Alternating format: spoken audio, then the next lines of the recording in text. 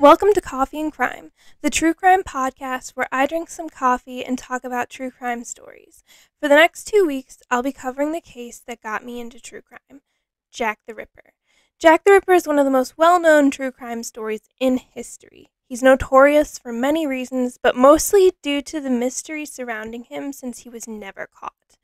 There's plenty of speculation as to who he was, but most historians have surmised we may never truly know who he was. That doesn't mean we can't make our best assumptions from the evidence that's viable and known to be true. Now pour yourself a cup of coffee, curl up on the couch, and settle in as we take a deep dive into one of the most interesting true crime cases to exist. Jack the Ripper began his short lived reign of terror in Whitechapel, London in 1888. Now, when I say short lived, I mean that all five of his confirmed murders took place within the same year between August and November. And when we talk about Whitechapel and the Whitechapel Five, I just want y'all to know that we don't exactly know how many people Jack the Ripper may have actually killed. We have a strong belief that the five are his victims, but this is only speculated. The knowledge of the five wasn't really confirmed by authorities until 1894, so we don't truly know how much legitimacy is behind it. That being said, let us get into the actual murders. Then, after that, we can break it down and look at all the possibilities. Now, before we get into the canonical five, I want to start with a death that is very important and sequential to the idea of the Whitechapel murders. So this death was probably not that of Jack the Ripper's, but it's detrimental to his story because it sets it up. Emma Elizabeth Smith was getting ready for a night out on the 2nd of April 1888. She was an older and widowed woman, a woman who may who many referred to as an unfortunate for her lower class status and job as a prostitute.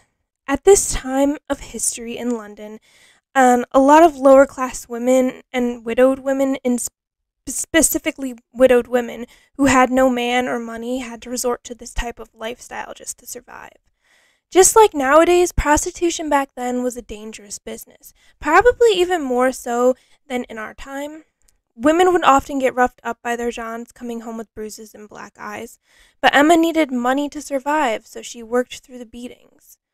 She had no idea that night she went out would be her last. The next morning at around 1 a.m., so still nighttime, that of the 3rd of April, a fellow housemate, Margaret Hayes, saw Emma conversing with a man from across the way as she was headed back to the boarding house after a rough night of work.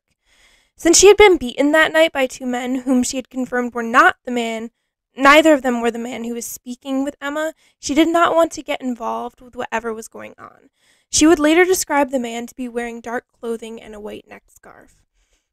Later that night, Emma arrived back at the boarding house and she was severely beaten and cut. She told another woman at the house that she had been mugged. Her lower part was also injured, so she was convinced by Mary, the other woman, to go see a doctor. The doctor was appalled at how injured she was. Not only external injuries, but internal as well. She stuck to her story that a group of men had attacked and mugged her.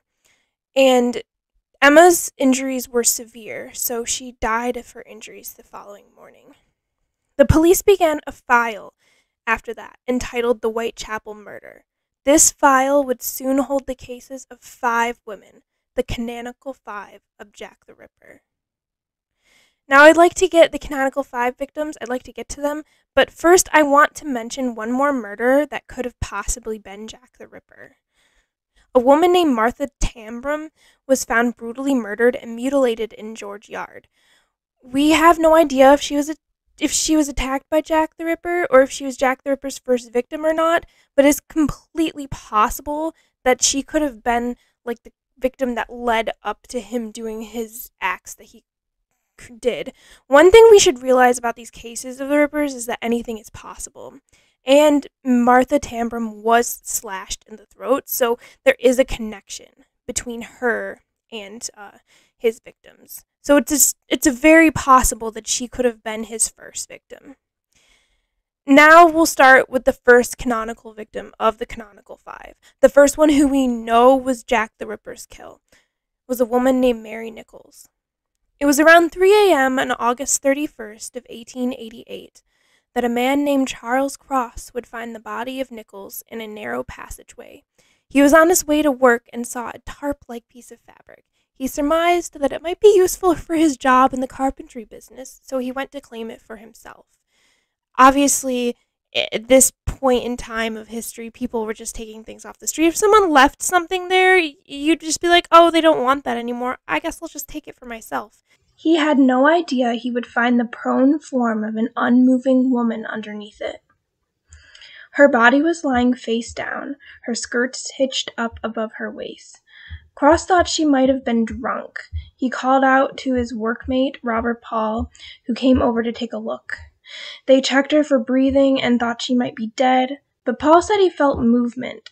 The two men in the end decided that they did not want to get further involved in the situation. They decided they're already late for work, they really can't stay and help her sit up or anything like that. So they decided that they would just tell the first policeman or personnel that they saw what they had found. So they continued on to work.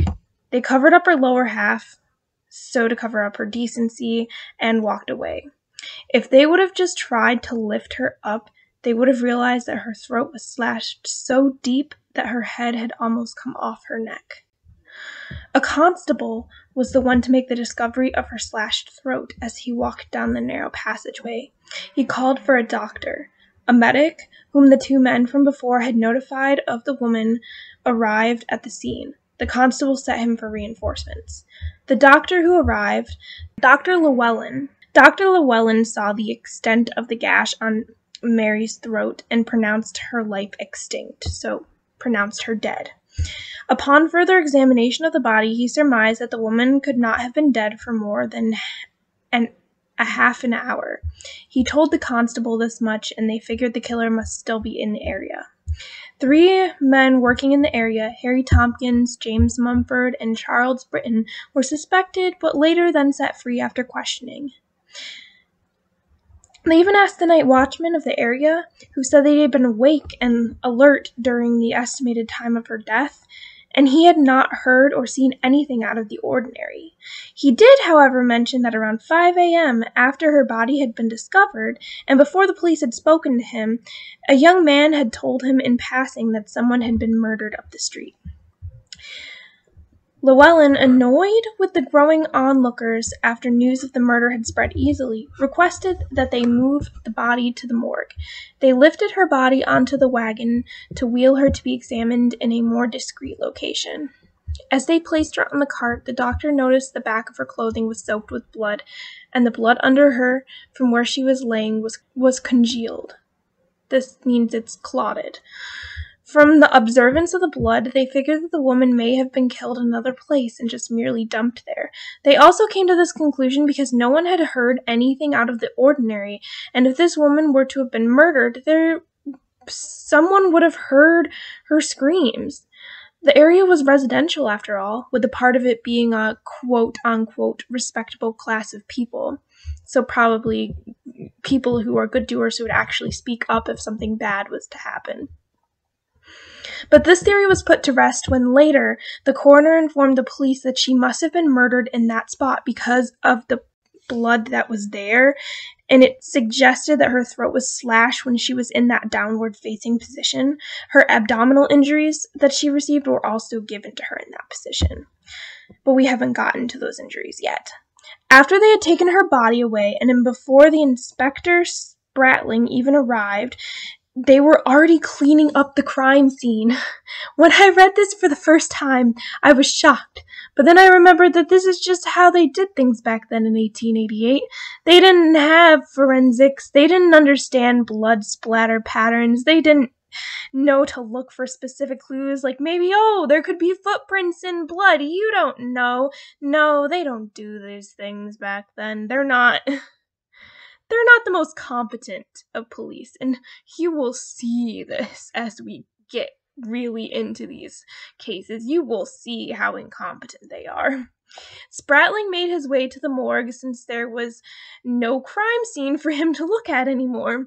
He went to take a description of the deceased, and he was the one to notice under her bloodstained clothing. So her clothing was completely soaked in blood on um her her abdomen's side, so you can't really see anything on her body until you get up for a closer look. And he noticed that she had been disemboweled. We would later surmise that this was part of the Ripper's MO, uh, modus operandi, for those of you who don't watch Criminal Minds. Um, this just means um, something that the killer does most, if not all, the time. It's part of their ritual or how they kill. Once Spratling took note of this, he went to fetch the doctor to do a more thorough examination of the body, but before he could even do this, two senile workhouse people removed the clothes of the woman and began to hose the body down. Okay, stop right there. Seriously, the crime scene, I can understand, like, sort of, I guess, but this, this is just ridiculous. The coroner's office was angered that the police would let this happen, but they stated that they gave explicit instructions not to let the body be disturbed until it had been examined. I just, I can't even with this part, guys. I can't even. How could they be so stupid and uncaring about the jobs back then? okay, Putting all this aside, the police had to get the body of the woman identified. The police canvassed the area, and many women said that um, she was a woman named Polly who frequented the area, who probably worked in the area, quote unquote. Uh, while the incompetent and, uh, let's be honest, very stupid police Honest, and honestly, that's what they are all throughout most of this case. So strap yourselves in for that and be prepared. Spratling is our guy for this. He's the only guy who's even really on it at all, if you want to consider him on it. Spratling noticed the mark of a workhouse on the woman, the Lambeth workhouse, the Lambeth workhouse, on her body. He rightfully and smartly so requested that a woman who worked there come and identify the body, and that was when they found her name to be Mary Nichols. Mary, or Polly as her nickname was, so that's why all the woman who identified her to the police told her told them her name was Polly.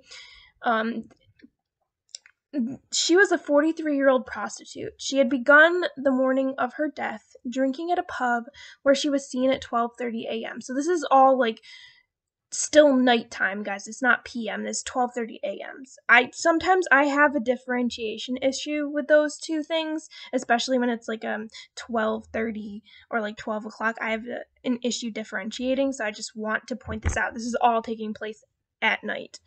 She was drunk and she tried to get lodging in the area but was turned away because she didn't have enough coin. So she set out to sell herself to get the money. The last person to see her alive was her friend Emily Holland at 2:30 a.m. at a grocery store. She saw how drunk Mary was and tried to convince her to come back to the lodging with her. But Nichols refused because she didn't have the money and went off swaying drunkenly into the night to find a John to make some cash. No one would hear Mary Nichols die, and there was so many people awake and so very close to the spot that she was killed. There was literally a woman awake in her home pacing her bedroom in the middle of the night because she couldn't sleep. Her window facing that area, that passageway where Mary Nichols' body was found. It's truly baffling to read that no one heard her die when there were so many possible witnesses. There was a constable standing some 50 yards away. I'm just baffled. There was also the question of how the killer even escaped, and why no one noticed a man covered in blood just walking through the streets of Whitechapel. It was noted that since the blood was probably primarily on his hands because her body was facing toward the ground when he did these things to her and it wasn't facing upwards, so no blood splatter would be coming onto his body. So th- that the many local slaughterhouses that were in the area would give him an easy excuse to any questioning person that may be like, hey, why are you covered in blood?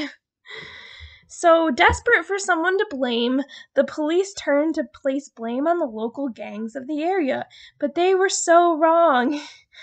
Like I said, my dear listeners, the police in this case are not the best or the brightest at their jobs. I just. Look, I just can't even. Every time I reread anything about this case, I remember how awful the police handled this whole investigation, all of the Whitechapel murders. I wonder that if maybe they had handled it differently, they could have possibly caught the guy. But mm, the inspector, which was, I would assume, is the equivalent of a detective back then, he was the only guy who knew knew what the f he was doing. I just, mm, I can't even. So the police, of course, had no idea that they were wrong about this assumption of gangs. They had no idea this was not going to be the last gruesome slaying in Whitechapel.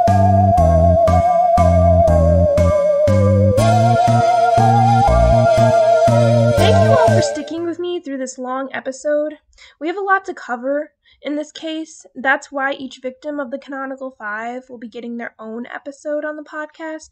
I don't want to miss any important details of the case. I'll try to post each episode for this case every other day if time and personal life permits.